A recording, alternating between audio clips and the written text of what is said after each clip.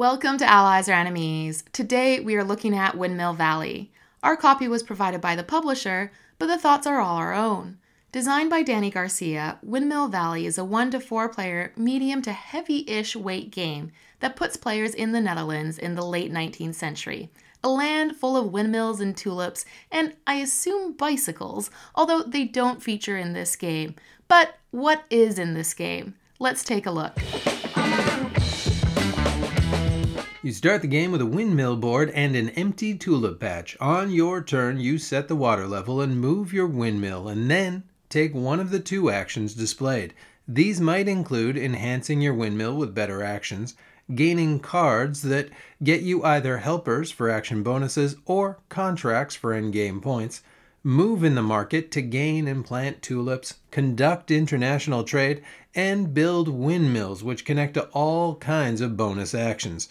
Each time your windmill goes all the way around, you move on to the next season. And after four seasons, the game is over and you gain points for contracts, as well as your tulips, both based on the windmills you put out and the tulip beds you planted. And then the greatest tulip farmer is named is a bunch of built-in variability. The windmill boards are all slightly different, and there are a few different starting cards and starting goals, which definitely do help guide your focus. But the core of the replayability will be in focusing on different paths and finding new ways to set up those sweet, sweet combos. Because you'll only get 15 to 20 ish turns, you'll never have time for everything. So we found ourselves focusing our helpers and our windmill wheels on a couple of actions each game. Sometimes that means having a winding path of windmills. Sometimes our strategy is more market focused. Sometimes just focusing on upgrading your wheel or foreign trade can be viable strategies. But the puzzle isn't just on finding a path, it is also finding ways to combo the stuff in that path to access the other parts of the game. And there are a lot of bits here to connect. As usual, we have mostly played this at two players, and it does work pretty well at that count, but you are going to miss out on a few of the key points of interaction. At more players, the flower market will be more chaotic. The upgrades and helpers will get scooped up more often, and there will be more need to build your windmills next to others.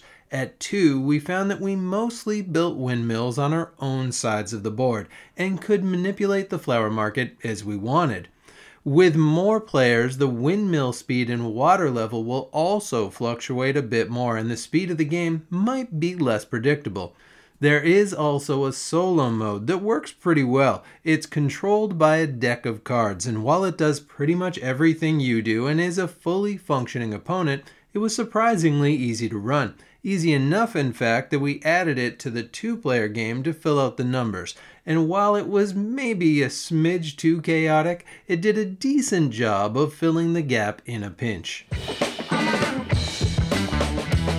This is one of the most colorful games we've seen from Board and Dice.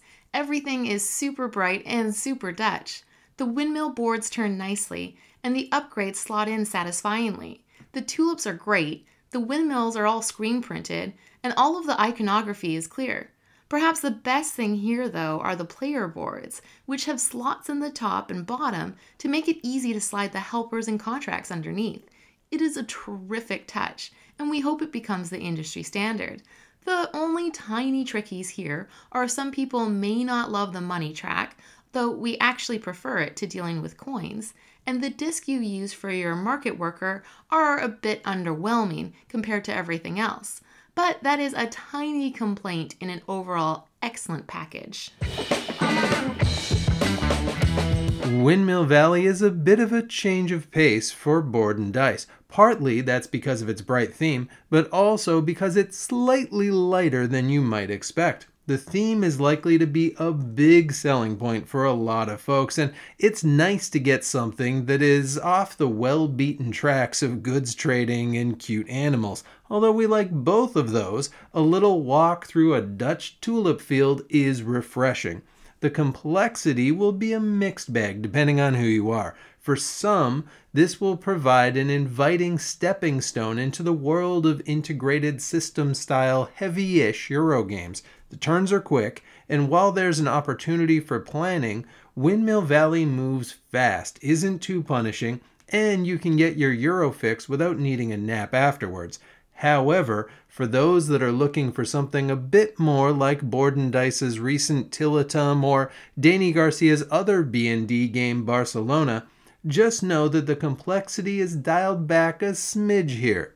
The other caveat is that if you want to get the most out of the interaction, three or four players will be the best fit. But those things aside, if you do want a slightly speedier and lighter heavy game with a gentle and lovely theme, Windmill Valley is worth a spin. And that is it. Have you played Windmill Valley? What did you think? And what other board and dice games would you recommend? Please let us know in the comments and please do like and subscribe and hopefully we will see you all next time for another game.